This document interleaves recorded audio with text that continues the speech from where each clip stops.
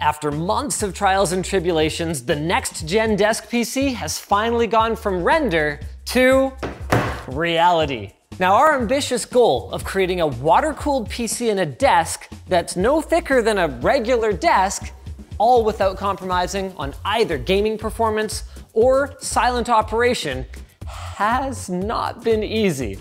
But by the time we're done this video, you guys are gonna see it all laid out and operational. And I'm gonna lay out for you the benefits of our sponsor, Ridge Wallet. Ridge Wallet wants to redefine the wallet with its compact frame and RFID blocking plates. Check out how they can keep your wallet bulge down and use offer code Linus to save 10% and get free worldwide shipping.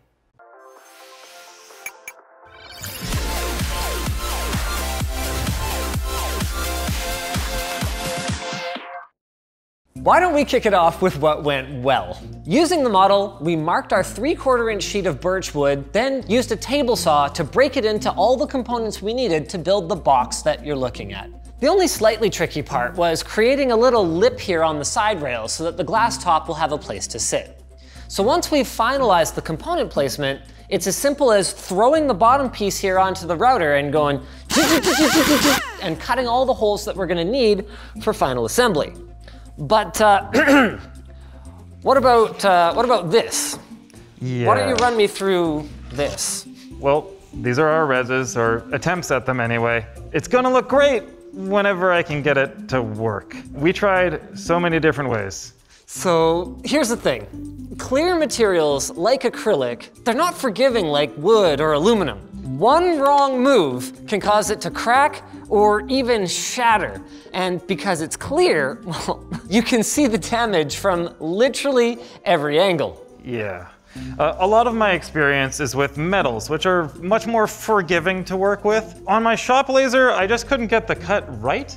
Uh, I couldn't get the settings to not light itself on fire. And it's something that I could have probably dialed in, but I decided to move on from V1 here. Vaporized acrylic likes to get a little burny, and given the 10 watt per millimeter rule of thumb, 130 watts of power for 18 millimeters of acrylic is pushing the limit a little. So for the second go around, our pals over at Metal Mart gave it their best with their water jet. And initially we had high hopes, but the brittleness of the acrylic reared its ugly head again causing just these beautiful cuts around the LTT, but unsightly craters everywhere where the water jet pierced the stock in an attempt to make the holes. So I pivoted from that to the router, something I was really trying to avoid because these parts are really well suited for 2D fabrication. And it went surprisingly well, but I failed to brass off or dull the tip of the drill, and it pulled out a huge chunk of material and, and scrapped this attempt as well. So close, yet so far. Thankfully though, while we were busy with Tech Timber, Trotec sent over this beauty right here. And it was time to give it another shot. Because while the raw power of this unit is actually about the same as Column's laser at 130 watts, as the name suggests, the speedy 400 Flex runs circles around prosumer tools, moving literally 10 times faster, which we can use to our advantage. Now in the router version of the part, these slots all around it were designed to increase volume and improve water flow. But the thing is, partial cuts like this aren't something that a laser can typically do. You see, an etch pass only removes a fraction of a millimeter of material. But here's the thing, with the Speedy, I can just run the same etch over and over and over and over again, and this piece right here, oh, there it is, took a couple of hours. But if you look, the entire surface of the LTT is actually a couple of millimeters lower than the outer rim. That's almost as big brain as buying all your clothes from LTTstore.com. Now, small holes in thick material are another thing that's pretty tricky with a laser, mostly because a laser beam isn't actually cylindrical, but rather conical. And as you can imagine, a cone shape is not the ideal shape for a threaded hole. So instead of drilling all the way through, I just made little holes and then finished them afterwards on the drill press. That way they're on location and to the correct size. Unfortunately, after solving this problem, it went together great and it even held water. Uh, That doesn't really sound very unfortunate. Okay, okay, I'm getting to that. Uh, in the midst of disassembling it, I got distracted by the camera falling over and I fat fingered the drill's direction. Lefty loosey became righty tighty, and uh, I made a little crater. Oh no! Ugh. Oh, it's otherwise perfect. Yeah, she's dead, Jim. Okay, but even though this is just a cosmetic sample, then, we are confident now that we can build it since. I mean, you did do it once. I did what? It You- held water. You just had to I crumble was your so head. close. You just had to crumble your head. What it means is we're confident, confident, Confident. that we can build it. Which means we're not going to have to resort to some kind of commercial off the shelf reservoir. We know we can rely on having this, and we can do the final layout for the rest of the parts. Right? Yes. Confident. Confident. He's confident. Look at this guy. These 1U radiators from Alphacool are super neat. They're actually designed for servers, but they've got some cool features that make them perfect for our use case as well. They've got the inlet and outlet on either side of the rad, and then check this out. You can chain them together in serial by using these end ports, or you can go in and out on this side. So what we're gonna be doing is we're gonna be lining the right side of the table, ah, here we go, with these radiators. We just made a small oopsie and we only ordered one of them as part of our proof of concept, so you'll have to imagine that there's more of them over here. The only question is, is that gonna be enough radiator surface area? I think we're gonna have about the equivalent of a dual 120 millimeter rad. And with the way that we're positioning the fans, we'll show you that in a minute, it should be enough for our spec. The idea here is massive positive pressure. We're gonna have eight Noctua Industrial PPC fans with filters, basically creating this pressurized chamber in the case that's gonna cause the air to kind of passively whoosh over the components that need air cooling, like the motherboard chipset and VRMs, for example, and then exhaust through the only part of the table that's not sealed, which is gonna be the radiators. So, like that.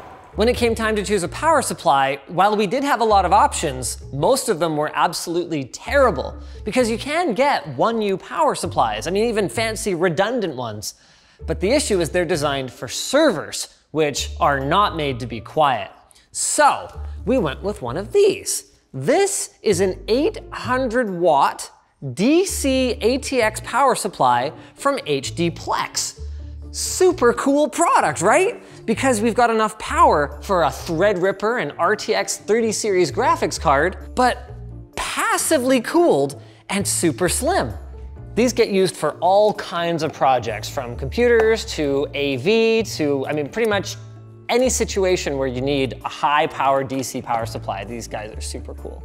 Of course, the thing about AC, the thing about DC power supplies, that is ones with a 12 volt input and then 3.3, 5 volt, and 12 volt outputs, is that they still need to do the AC conversion from the wall. So for that, we're employing two of these 400 watt power bricks, also from HDPLEX. These puppies, because they're kind of messy looking and because we want them to have access to fresh air, we're actually gonna put on the outside of the unit, on the underside. Now let's talk motherboard. Because, um, okay, I can't come up with a good reason for this. Because AMD sent it to me, I'm using a Ryzen 3970X on an Asus Zenith 2 Extreme. Is this the alpha or the non-alpha? I think it's the alpha. It's non-alpha. It's the non-alpha, which is fine because realistically, we are not going to be overclocking this thing anyway. We had to make a couple of small modifications to the board. it was so close to being too thick to fit in our case, we actually had to remove the cover on the VRM fans here, as well as the cover on the I.O. So it'll look a little more industrial. Just like last time, we're gonna be setting the motherboard and the graphics card back, probably about an inch or an inch and a half from the edge. What this allows is, because the I.O.'s on the rear this time, some room for the cables to bend or have large connectors before they just butt right up against the wall. Now you might have noticed, if you're extremely keen-eyed, that this is a 3080. Uh, that is not the graphics card that we actually intend to use for the final project. We're gonna go with a 3070 just to keep power consumption under control. Oh God, we're gonna need custom cables. Yes. Uh, actually, they're Silverstone compatible.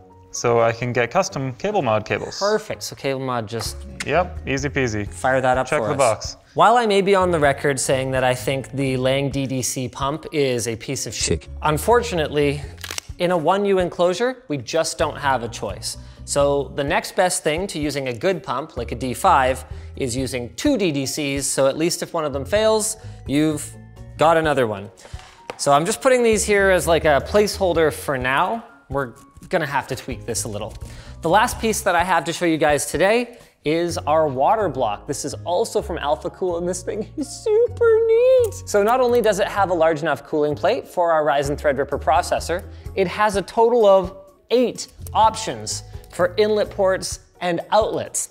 What that does is it allows us to put it onto the CPU socket and then figure out with our RAM and our VRM cooling and all that stuff, how the heck we're gonna be able to get tubes in and out of it.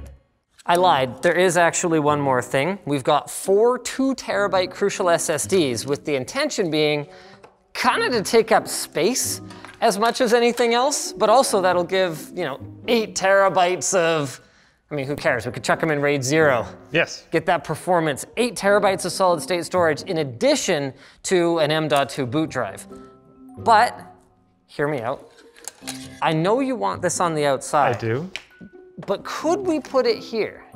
We could, but I really don't want to. And this is just because of the distance that this 12 volt run has well, to go? Well, we're putting a heat source next to the radiators. You see, like, if we have these on the outside of the case, then all this heat isn't input into the system. And we're already pretty tight on, on airflow in here. That's fair. So this is, I mean, assuming about 90% efficiency, that's like, under full load, that's like 80 watts that we can have Yeah. outside. But under your realistic load, we're probably talking 40 watts. But even that, Do you really think airflow's gonna be tight? We got eight cooling fans. but we have a lot of pressure. We don't have a lot of flow. It just has such a small orifice to come out of. I think you're gonna be surprised. Probably, but I want to plan for less heat in the system. That's why we went with a 3070. I wanted a 3080. But like, like, like, then where would those go, right? I mean, we could move the rad down and then like have them here, and then they're close to the SATA ports. Yeah, we're gonna and we're gonna need tubing runs and stuff like Th- this. th- This area is fine. We're going to use those little end connectors that I used for the uh, stacking radiators video. So these will be tight, But What we could do is we could go pumps and then we could go drives here actually. the outlet port for the water block is in here. So there's no sense really having a pump out here. Well, I couldn't help noticing that our reservoir still isn't actually manufactured. Fine, I can change that. See, if I had done my job and made this right, then it would be set and I wouldn't have to entertain these ideas. You like my ideas, come on. Okay, so let's pull the cables off this for now. Yeah, yeah, no, it's a mess with them. This might seem crazy, but we're gonna be painting this for the finished product anyway, so drawing on it is not that stupid. So here's what I'm thinking. Right angle here into the end cap here. Then we go straight out of here. Here we've got a height problem. This is lower than this. We go this way and then into here. We go out from here into the graphics card, out of the graphics card, and then out from here into reservoir. Very suboptimal from a filling perspective. It will take like an hour or two to fill this. Yeah, I was kind of hoping to put ports in the actual desk and have a fill and a drain area. I see. That is interesting. We can also use these because they're just vertical, so we can put the, the fill funnel up here and Oh just fill it. my God, you're a genius. So we can fill the res Yeah. and flood the pumps so they don't run dry for the filling process. Yeah, Okay, build in the quality of life you want, right? I did not think of that. Well, you did. You know what? Does teamwork make the dream work or what? okay, so can you get me uh, my little uh, my little valve? It's technically not the symbol for a valve, but I'll allow it. Oh, sorry, you're right. That's that's the incorrect signal symbol for a valve. Let me fix it. There, fixed it for you. you, you know the reference, right? This is sick, man. This It's is gonna, gonna, it's be. gonna be fine. I think it'll be, yeah, just not a nightmare and whenever you need to look at it again. Oh, I'm so glad you used the word nightmare because I have one for you. Oh, great. We've been having some issues with the Aquantia NICs and our new switches. Okay. And this is an onboard Aquantia NIC. There's no way we're fitting a 10 gig card without another riser. What if it was here? well, well how, how's that gonna fit, right? Uh, why, why have you done this? I, well, Jake found the problem. So Jake is my issue. Blame Jake. I do. But I do need an add-in card. Where's it gonna go? Well, if it was here, we would just have another cutout. It's a lot of cutouts. Because we're um, gonna have a cutout here, here, here, like, and this is supporting that huge sheet of glass. We could do like a couple support pillars. Little bogeys, yeah. Yeah. I'm so excited right now. Now, hopefully I won't have to wait eight months for the next part. No guarantees. One thing you never have to wait for, though, is my segues to our sponsors. Drop.com is featuring the Sennheiser HD 8XX headphones. They're made in Sennheiser's German HQ slash factory, which we've actually toured before, and it is amazing. And they're based on the HD 800S, which is also amazing, but with some tweaks. It features a new blue colorway with added low-end extension and adjusted driver damping for superior audio balance. These adjustments were based on feedback from the audiophile community. If you're not familiar with the HD800 series, it's an open back design headphone, so it's got a really natural sound, and this version has a detachable 10-foot cable with one quarter inch plug. You can pre-order yours today at the link down in the video description. If you guys enjoyed this video, you'll probably enjoy part one of this video, although you've kind of seen everything that uh, we covered in that one. So maybe just check out the, uh, the conclusion to our last desk PC project to demonstrate that, yes, in fact, we do eventually finish these projects. Just take some time.